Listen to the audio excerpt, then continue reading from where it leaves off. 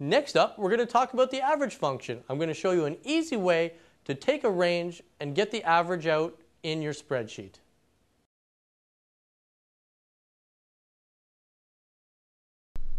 Determining the average for a range of cells is very similar to the way we went about determining the sum for a range of cells. I'll begin by clicking in the empty cell where I would like my average to appear. Now I can begin by typing out the formula.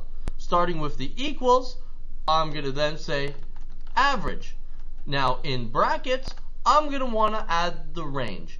In this situation, we're looking at B3 for the beginning of my range, followed by the colon, which represents 2, and D3 for the end of my range.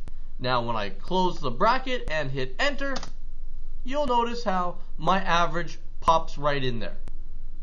The second way we can do it, we're going to find by making sure we click on our home tab and then using the drop down menu next to the auto sum feature.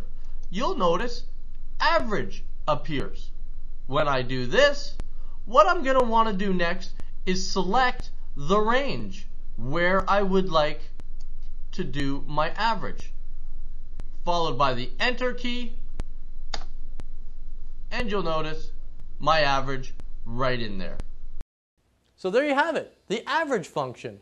One of the many different functions you're going to find by clicking that little drop down arrow next to the auto sum button.